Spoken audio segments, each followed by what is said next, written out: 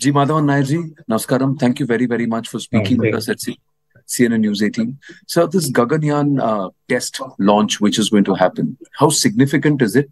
And can you please explain to us what's the reason why this is being done, why it is important to be done?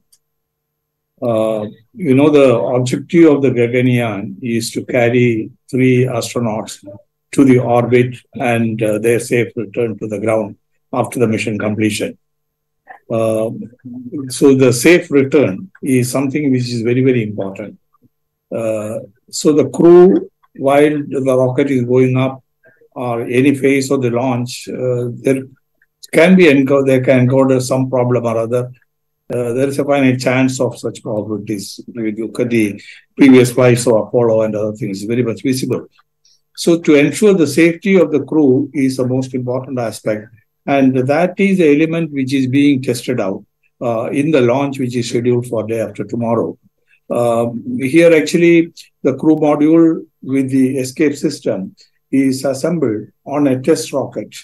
Uh, it's not the real uh, launch vehicle which is going to take that, but a vehicle which is configured using the same engine as what is being used in the uh, the GSLV Mark III. So you know there is a proven engine which is being put there, and it will be taken to an altitude of about 10 kilometers or so, and crossing the Mach 1. Uh, that is, you know, the transonic region is where you know it experiences maximum disturbance in terms of vibration, shock, acceleration, and all those things. So that phase will be over. So one can ma- monitor the conditions inside this, uh, the capsule.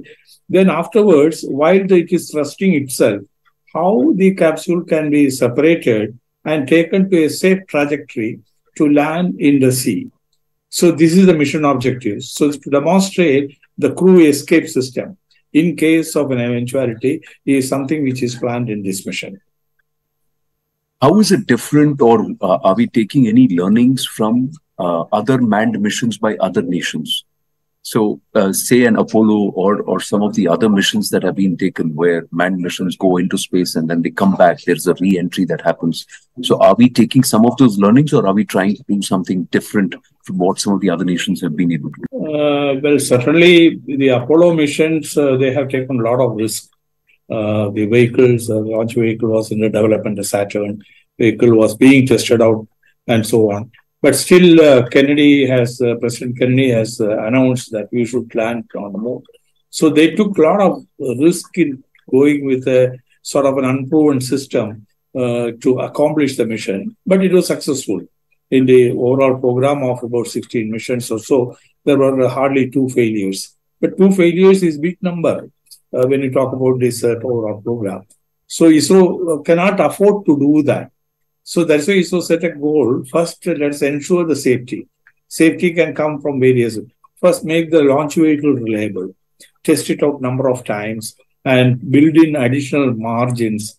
Design margin designs can be improved and redundancy can be implemented and onboard monitoring uh, to forecast eventual any problem which can occur uh, and then take action this kind of uh, escape system has come in the much later flights of Apollo and uh, in the Soyuz as well. Uh, but in the initial phases, they didn't have it. So naturally, we have benefited out of their experiences, and that that concept is being adopted. But the technology for that is a homegrown.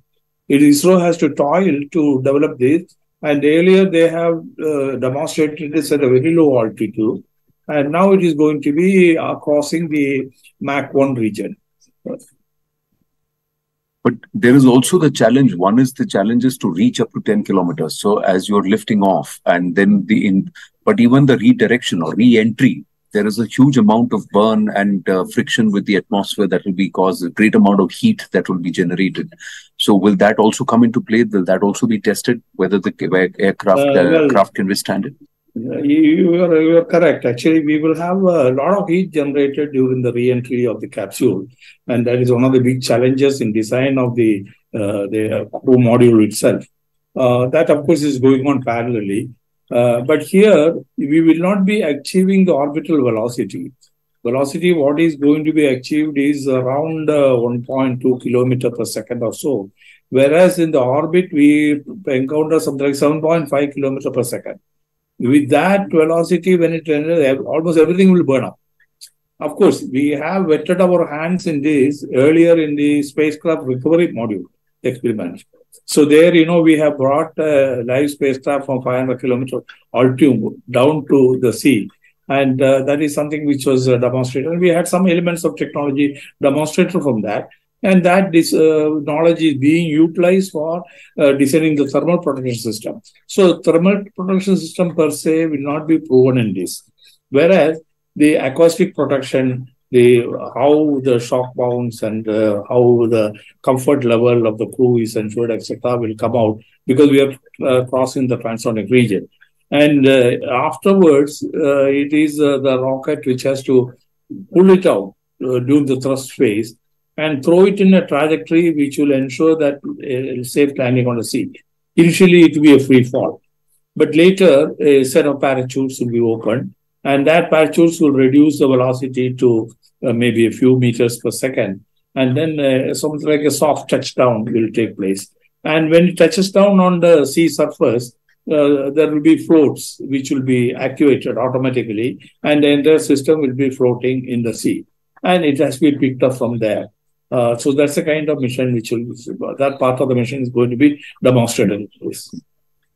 Is this the first of many test flights, uh, Mr. Madhavan Nair? And uh, for this test flight, what do you think will be perhaps the biggest tick mark or the biggest success that uh, ISRO will actually be looking for to achieve? Uh, well, one thing is uh, the onboard computer system and the software to monitor the performance and uh, to take real-time decisions on that's on part. The second part, as I mentioned earlier, is uh, the environment inside the crew module.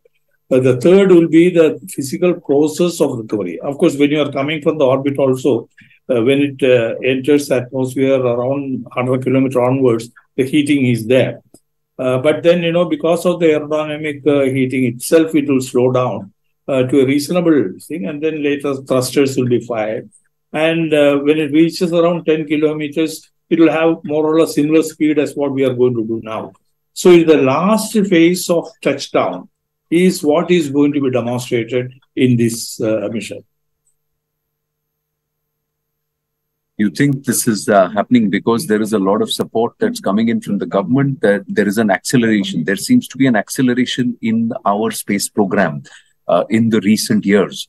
Uh, you think there is a perhaps a mix of not just scientific and technological innovation and improvement, but also certain amount of encouragement and political will? My final question, sir.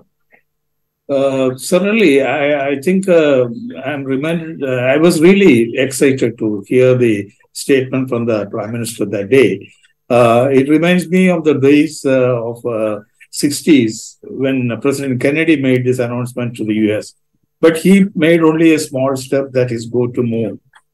But here, our prime minister has set a goal not only moon, a space station, and even the mission to Mars and so on. So he has given a tremendous boost to the space program. Uh, probably I will say that is the third vision for ISRO which is given. The first vision given by Dr. Sarabhai. Then the second vision, of course, uh, I was part of that. We have given in the uh, 2010 timeframe and that is being implemented now. Even before completing that, he has given the third vision, which is super. And uh, it is going to really ignite the entire space program and the space activities and the technology development in the country. It is going to be the major driver of technology development for the nation. Thank you very much for your time, sir. I look forward to speaking with you again post the test launch and let's hope we have achieved and we achieve all the parameters that we set out to and it's a successful test for all of us as a nation and for the scientists of ISRO. Thank you very much, sir. I wish you the team ISRO a grand success in this mission as well. Thank you. Thank you, sir.